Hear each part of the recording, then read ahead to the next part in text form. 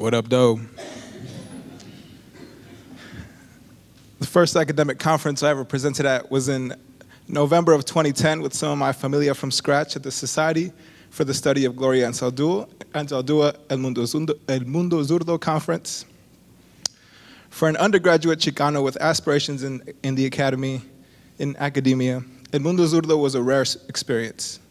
To be completely surrounded by the many shades of brown bodies and our allies in an academic setting wasn't something I appreciated until a few years later. Over the next couple of years, conference after conference, I was exhausted. Everyone is tired after conferences, but the exhaustion that comes with a concentrated dose of microaggressions, imposter syndrome, and the, in, and the inability to not be on requires a different type of healing knowing that conferences can be energizing and never being able to replicate that experience is frustrating and discouraging. Until last year, when I had the chance to attend Computers and Writing for the first time in Rochester, shout out Rochester, CNW was a different kind of, of, different kind of conference experience. For me, it marked the first time since I joined Rhetoric and Writing Studies that I felt comfortable, that I felt like I belonged in a space that I wanted to invest my time into. Now, I may be a bit biased. They did give me an award and pay for my travel and stuff like that. But that is very necessary. Every conference has some kind of diversity initiative, but very few conferences do the work beyond the award.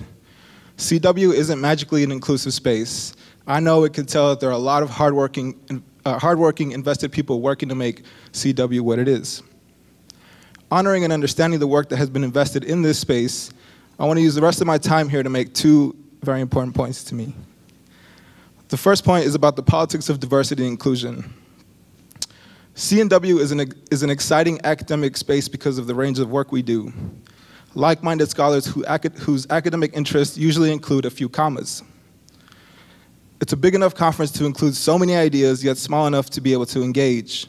The thing about inclusiveness is that as you bring in more voices, they brought in more than just the optics. We brought in the histories, experience, critiques, and perspectives. I'm happy to be seen, but I also want to be heard and respected. Realize that as marginalized people, it takes a lot for us to speak up. Because of that, be conscious that if we are choosing to speak up, we are saying something that we feel is important. Keep that in mind. What we say is coming from somewhere.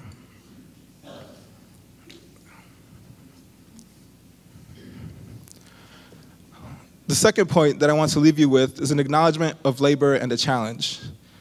In my experience, so much of the work behind this award and the folks who made this conference inclusive has been possible because of the labor of women.